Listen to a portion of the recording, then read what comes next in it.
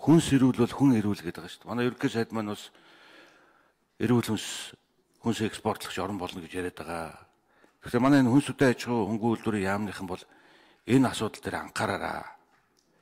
Бодлого зорилго тодорхой байгаа шүү дээ. Тэгээ жоохон зоригтой хариулт л та.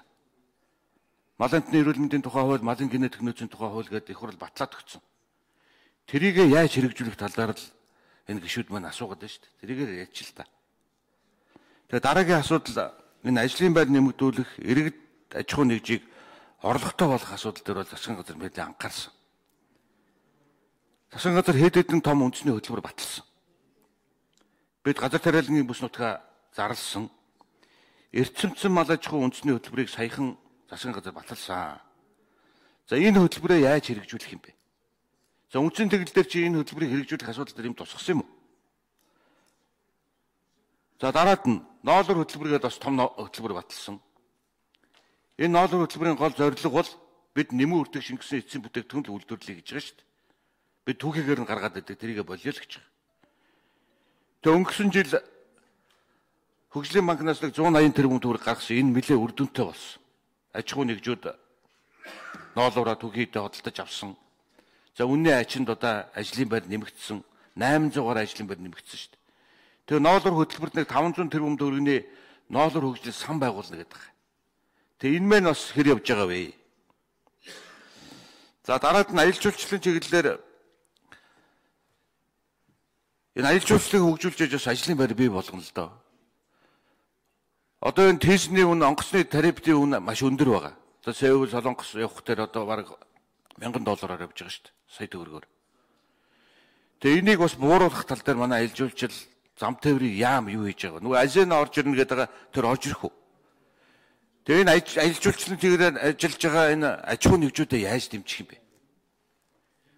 Төрийн бодлого тодорхой байж ээж төр энэ аж ахуй нэгжүүдэд дэмжиж ижил энэ салбарууд чинь хөгжиж шүү дээ аж ахуй аялал жуулчлалын салбарууд. Энэ тал дээр одоо сайд нар ямар бодлого барьж байгаа юм бэ? Юу хэрэгжүүлэх юм бэ гэж. За үйлдвэржилт 21 100 гэдэг үндэсний хөтөлбөр бид нар баталсан. За энэ хөтөлбөрөө яаж хэрэгжүүлэх гэдэг юм бэ? Нөгөө ерөнхийлөгч маань нэг 500 тэрбум төгрөг ярьсан. Тэр мэн тусгаж байгаа юу? Энэ ажил явах юм уу? Одоо сонгуул болох гэж байна. Бид нар 21 аймагт одоо 100 үйлдвэр байгуулнаа. Улаанбаатар хот 9 дүүрэгтэй гэдэг. Тэгээ хөтөлбөр засгийн газар батлаад өгсөн. Их хурл дэмжсэн. Одоо энийг яаж хэрэгжүүлэх юм бэ гэдгийг л одоо гişүүд асуугаад байгаа шүү дээ. Тэр энэ юунууд дээр хариулт өгөөч ээ гэж хүсэх байна баярлалаа. Тэгээ ерөн бол аж ахуй нэг жирэгдээ дэмжижээж энэ улс орон ч хөгжиж шүү. Бид эрэгтэй эрэгтэй орлоготой байлгая аж ахуй нэгжүүтэй орлоготой байрлахыг доктортой одоо энэ салбаруудыг хөгжүүлэе л гэж засгийн газар олон хөтөлбөрүүд гаргасан шүү дээ. Тэгээ энийг яаж хэрэгжүүлэх юм бэ гэдэг дээрээ л одоо тодорхой тайлбарууд өгөөч л гэж хүсэх байна. Баярлалаа. За хүнсүүд аж ахуй хөнгөн үйлдвэрийн яамныхан хариулъя. Хоёр дамир. За Батцар гүшүүнээ асуултанд хариулъя. За Монгол Улсын нийгмийн эдийн засгийг хөгжүүлэх, за энэ дотор ажлын байрыг нэмэгдүүлэх чиглэлээр бол 2020 онд нийгмийн эдийн засгийг хөгжүүлэх үндсэн чиглэлд бол ажлын байрыг 900 орчим мянга хүргье гэд. Өнөөдөр нийт ажиллах хүчний салбарын 50% буюу 700 гаруй 700 гаруй мянган хүн бол энэ салбарт ажиллаж байгаа. Тэгээ энэ засгийн газраас баталсан хөтөлбөрүүд за энэ 21 100 хөтөлбөр, ноолуур хөтөлбөр, за энэ эрчимсэн мал аж ахуй тэгээ жимс жимсгэн төмс хүнсний ногоо одоо эрүүл хүнс эрүүл Монгол хөтөлбөрийн хүрээнд бол одоо бадсан дөнгөөр ийм ийм 900 мянга гаруй ажлын байрыг нэмэгдүүлнэ гэсэн үндсэн зорилтыг төвшүүлээ явж байгаа. Энэ хүрээндээ одоо тодорхой салбар чиглэл хөтөлбөрүүдээр бас хэрэгжүүлж явна гэдэг. За Бацар гişний асуултанд хариулъя. Хүнстэй чухал хөнгөлдөр яам хөнгөлдрийн бодгоор эрсдэг цэцүүлэх газрын дарга Батхуу байна. За өнгөрсөн жил үйлдвэржилт 21 зүүнсний хөтөлбөр ноолуур хөтөлбөрүүдийг батлуулан хэрэгжүүлсэн. За хөтөлбөрүүдийн үр дүнд бол өнгөрсөн жил ноолуурын салбар дээр 1570 ажлын байр шинээр бий болж нийт борлуулалтын дүн бол 30 орчим хувиар нэмэгдэж 1.2 их 80 төгрөгийн борлуулалтыг хийсэн ийм амжилттайгаар өнгөрсөн жилийг үдлээ. За үйлдвэржилт 2100 хөтөлбөрийн хүрээнд бол улаан сайд дамжигдж ирснээс хойш орон нутгуудад тэрбум төгрөгийг хуваарилж одоо энэ жижиг дунд үйлдвэрлэлийг хөгжүүлэх сангийн зээлд хамруулахаар одоо ажиллаж байна.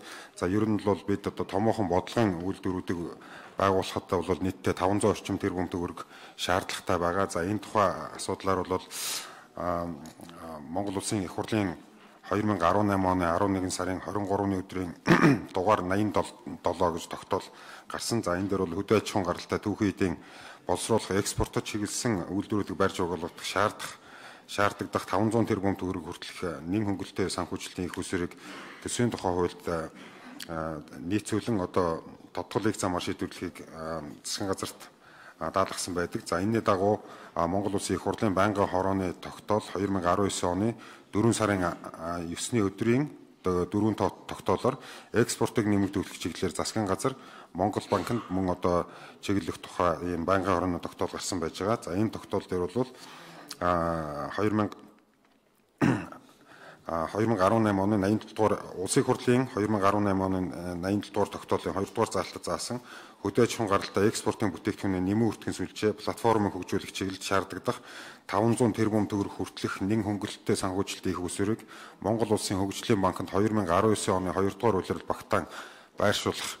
Энэ хөрөнгөөр одоо энэ хөрөнгнөөс мах махан бүтээгдэхүүний үйлдвэрлэлийг одоо мөн экспортыг нэмэгдүүлэхэд зориулан зарцуулах гэж одоо ийм тогтоол гарсан байж байгаа. Тэгэхээр юу Монгол банкны хувьд л одоо Монгол Улсын хөгжлийн банкнд зээлийн их усрыг тавиулах чиглэлээр одоо ажиллаж байгаа баха.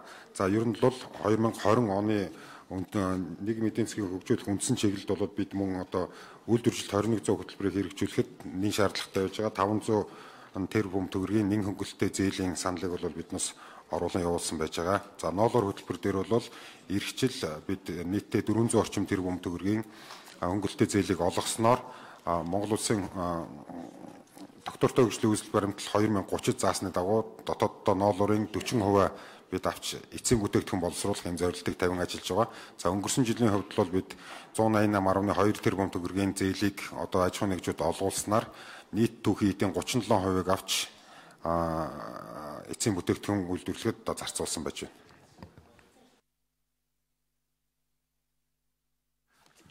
За Цэрэнбат сайд тэр аялал жуулчлалын талаар баримтж байгаа ерхий болгон талаар нэмж хариулъя.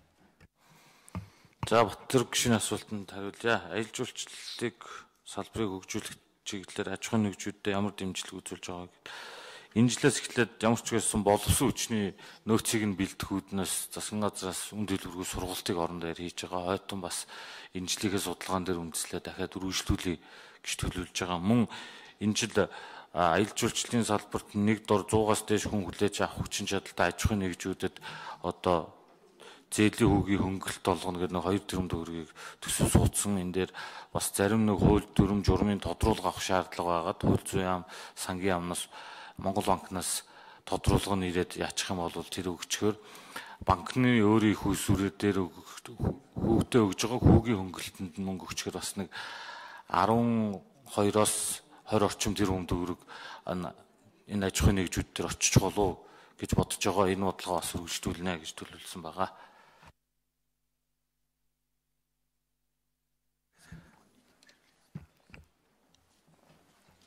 За гişүүд асуулт асуулт